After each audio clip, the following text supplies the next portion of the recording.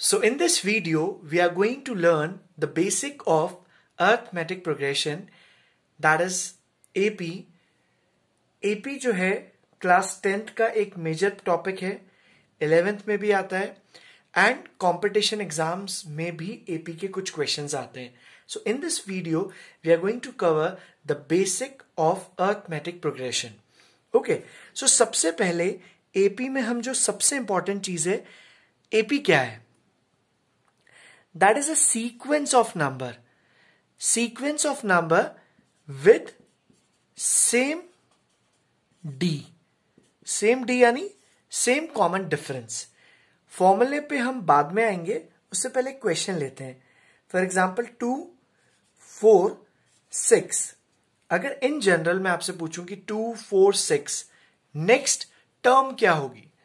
So what will be your answer आपका answer होगा eight so so, आप बोलेंगे सर नेक्स्ट टर्म एट होगा. सो so, यही एपी है। So this is only AP यानी एपी क्या है? Sequence of a number with common difference sequence of a number with same D D यानी कॉमन डिफरेंस अब देखिए इस क्वेश्चन को ध्यान से देखिए। टू फोर सिक्स और एट टू और फोर के बीच में डिफरेंस क्या है? Two two two so what will be the next term ten अब let's come to the formula A N nth term हो जाएगा। ए एन क्या हो जाएगा? एनथ टर्म हो जाएगा। D common difference four minus two two six minus four two eight minus six two that is common difference और first term यानी पहली टर्म पहली टर्म कौन सी हो जाएगी? Two now the question is हम एपी यूज़ क्यों करते हैं? फॉर एग्ज़ाम्पल मैं भी आपसे इसी क्वेश्चन में पूछूँ कि what will be the six term तो आप बोलेंगे सिक्स टर्म ठीक है। One two three four five six six term कितना हो गया? ट्वेल्व हो गया। आपने इजीली बता दिया। लेकिन यही है, मैं आपसे पूछूँ कि what will be its fiftieth term पचासवीं टर्म कौन सी होगी? तो आपको थोड़ा सा डिफिकल्टी आएगा फाइंड करने में। तो उसके लिए हमारे पास क्या फॉर्मूला है? सिंपल सा फॉर्मूला है। A N is equals to A plus N minus one into two otherwise और क्या तरीका है? Twelve fourteen sixteen eighteen like this we can go तो ठीक है? कॉन्सेप्ट क्लियर हो गया? So A N is equals to A plus N minus one into D where A N is nth term D is common difference A is first term ठीक है? Let's take first question formula यहीं पे लिखा हुआ है। अब मान लीजिए क्वेश्चन दे रखा है। टू फोर सिक्स एट मैंने इसका पूछा what will be its fiftieth term इसकी फिफ्टियथ टर्म क्या होगी? तो आप सिंपल सा करेंगे A N is equals to A A क्या हो जाएगा? टू प्लस एन एन क्या हो जाएगा? Fifty minus one fifty minus one forty nine into D D is common difference four minus two two D का मतलब क्या है? A two minus A one four minus two two आ रहा है. A three minus A two six minus four two आ रहा है.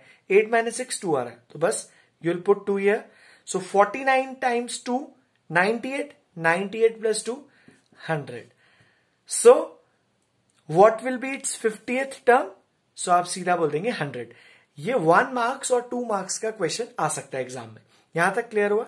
Let's take another question for example find the tenth term of an AP which is given by 3 comma 6 comma 9 and dot dot dot. So what will be its 10th term? आप बोलेंगे simple है A N is equals to A plus N minus one into D what will be A three N क्या हो जाएगा? Ten ten minus one nine into D कितना हो जाएगा?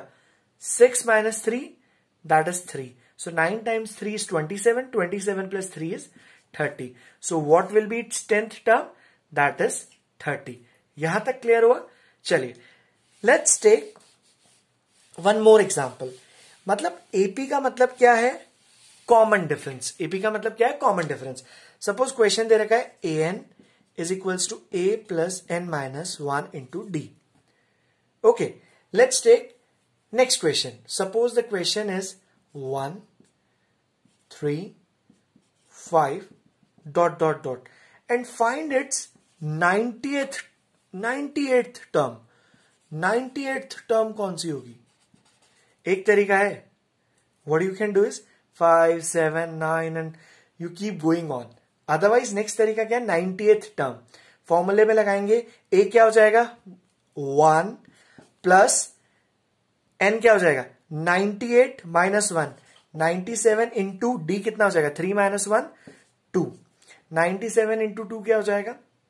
कैसे करेंगे? Nine times two ninety into two कर लीजिए। That is one eighty one eighty plus fourteen one eighty plus ten one ninety one ninety four one ninety four plus one one ninety five is the answer क्योंकि common difference क्या था? To concept clear हो गया? Okay let's do one more example suppose the question is minus one minus three minus five हमें क्या find करना है? Twentieth term twentieth term क्या होगा? सिंपल है. A n is equals to a plus n minus one n minus one nineteen into d अब D क्या होगा? डी होगा minus three minus of minus one क्यों? डी क्या होता है? A two minus a one तो ए टू क्या है? माइनस थ्री ध्यान से देखिएगा। Minus three minus minus one so it will become plus so minus three plus one क्या हो गया? माइनस टू तो डी क्या हो जाएगा? माइनस टू हो जाएगा। अब, यहाँ तक क्लियर हो गया? डी माइनस टू क्यों होगा? क्योंकि डी क्या होगा? A two minus a one होगा। डी क्या होगा? Minus five minus of minus three होगा। So minus one plus minus minus thirty eight the answer will be minus thirty nine so I hope आपको AP का first part का basic clear हो गया। So A N formula क्या है? A n is equals to a plus n minus one into d a हो गया first term N हो गया एनथ टर्म और जनरल टर्म डी हो गया कॉमन डिफरेंस ये फ़र्स्ट पार्ट हमने पढ़ा था एपी का। नेक्स्ट में हम एनसीईआरटी के क्वेश्चन सॉल्व करेंगे और AP is one of the easiest chapter in class tenth और स्कोरिंग भी है I hope you understand all the concept okay so in the next video what we are going to do we are going to learn we are going to learn more questions about ap okay thank you so much thank you keep learning